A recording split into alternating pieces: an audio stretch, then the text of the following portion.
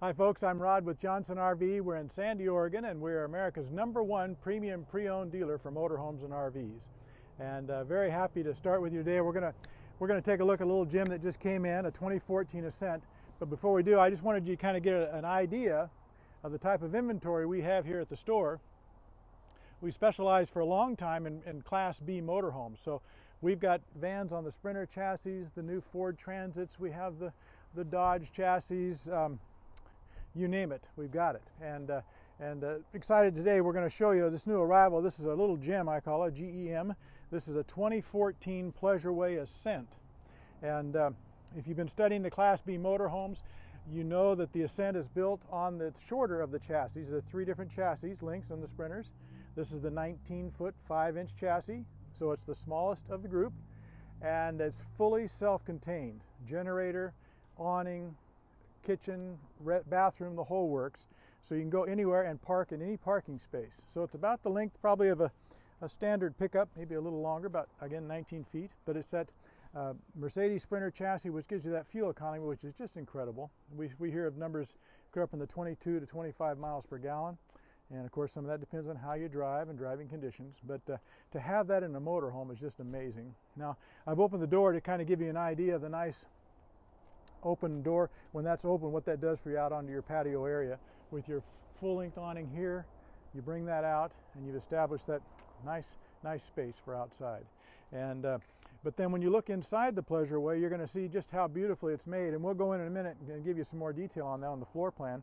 But I do want to do a quick walk around with you.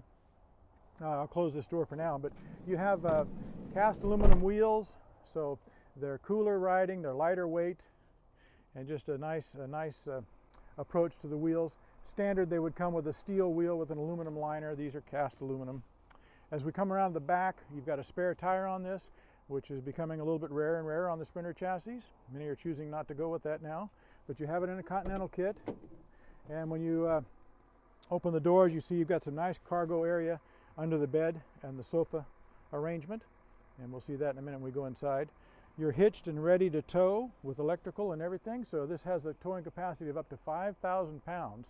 So uh, towing a small vehicle, a toad as they call it in the, in the business, uh, is easy to do with the Sprinter chassis from Pleasureway, the Ascent. Um, working our way around, the tires on these are basically brand new tires. You've got uh, your water heater is here. You have your utility center. I like how Pleasureway arranged this. It's very simple. If you get in, a lot of times when you're traveling, it doesn't seem like you get in until late at night. And it's just a quick, easy hookup. It's right here. Boom, power and water, and you're set to go. And you're inside and, and uh, cozy. Next to that, you have an outside shower, hot and cold water. I like the way they've located that. They've located it right above the dump station for your tanks. So when you're finished dumping the tanks, the black and gray tanks, if you need a little rinse water, you can do that here with hot and cold shower.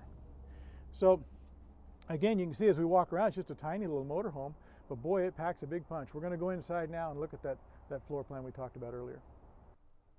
We're inside the 2014 Pleasureway Ascent, and uh, just, uh, you know, when you step into a Pleasureway product, you realize immediately what kind of quality you're looking at. It's just, it's noticeable you check out other motorhomes, it just, they don't compare.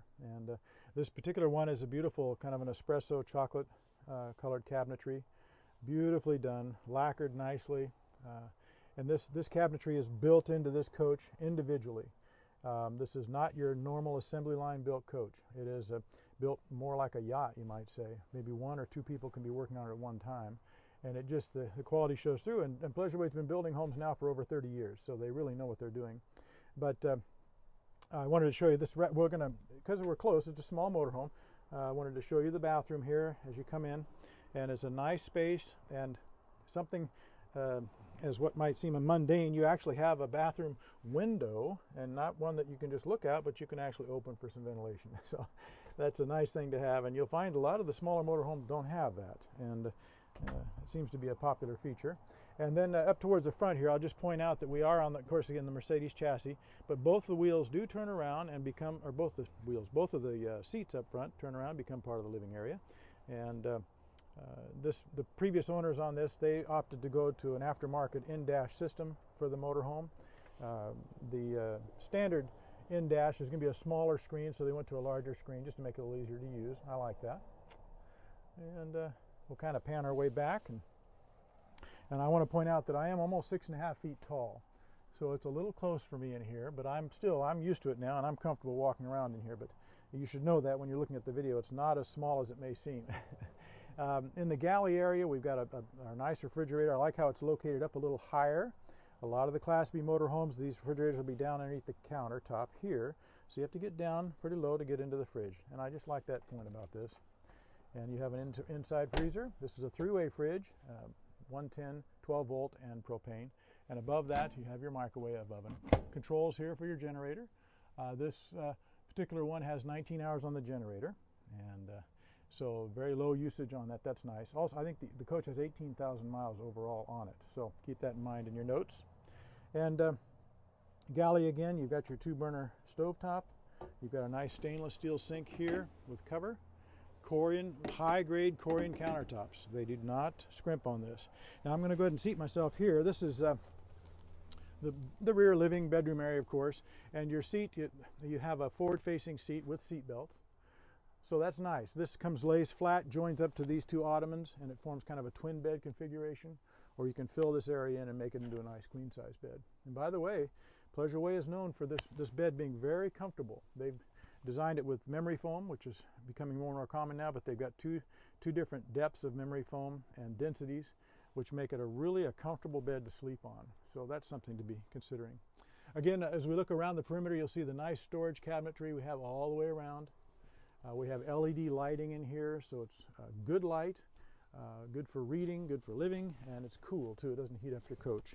And we've set up our table, so this table just pops out, obviously, and it just sets aside, but it's nice to have that here for dining and uh, maybe some card playing, that sort of thing. Um, but again, this is a 2014 Pleasureway Ascent. We just don't get them very often. I think they might have made 60 or 70 of these a year for all of North America. So if you're looking at the Ascent, I hope you'll give me a call. I can tell you some more details over the phone. Again, my name is Rod. I think the number's listed on the screen now, but it's 503 668 5400, and hope we'll hear from you soon.